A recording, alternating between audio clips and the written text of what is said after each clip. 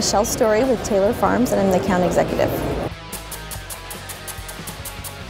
We are featuring all of our behind the glass salads as well as some new lines of grab and go salads and snacks. The unique thing about Taylor Farms is that we are designed with all of our facilities across the country to supply retailers with fresh product several times a week with many deliveries and several locations. Taylor Farms just expanded at the end of last year with two additional facilities that are focused on prepared meals and it gives us a different avenue into the marketplace that is new for us and gives us two additional ship points in the central United, north central, and in the northeast United States.